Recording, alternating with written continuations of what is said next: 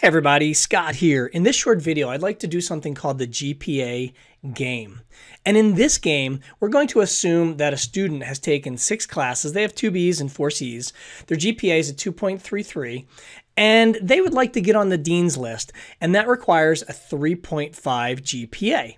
They'd also like to get into a program next year, and it requires a high GPA, so they need to raise their GPA up a little bit.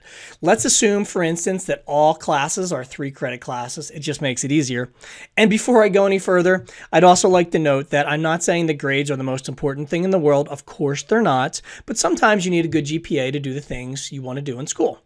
So, my question to you is, how many A's will a student need to get to get their GPA from a 2.33 up to a 3.5? Just think about that for one second.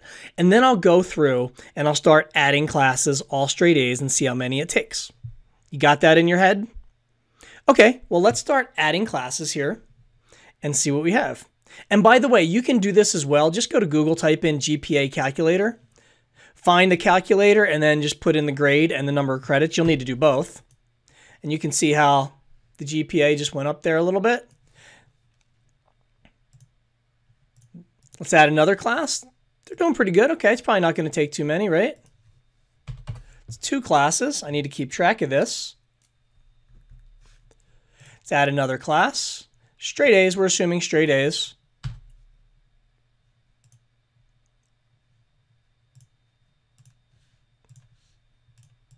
Looking pretty good. Here's four classes. All right, now their GPA is a 3.0. Okay, so how many is going to take to get up to a 3.5? Let's check it out. I'm going to speed up the video just a little bit so you can see how this works.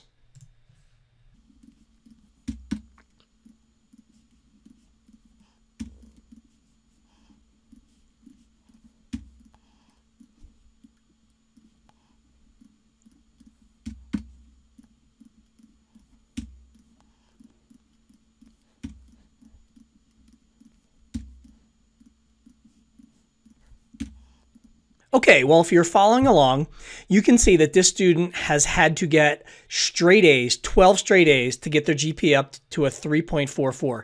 Let's see how many more classes it takes to get up to their desired 3.5.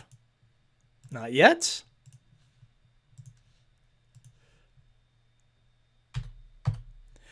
Okay, here we are. This student would have had to earn 14 A's all three credit classes to get that GPA up to a 3.5.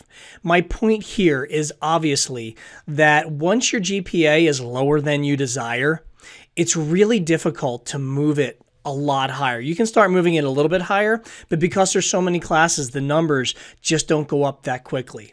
So please think about the GPA that you'll want to have for your programs, for your life, for your self esteem, whatever it might be. Because sometimes if you dig yourself a hole, it can be really difficult to dig your way out of that hole.